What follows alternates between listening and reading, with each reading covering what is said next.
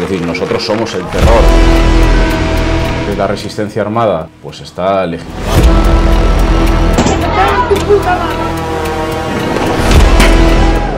Protestas pacíficas.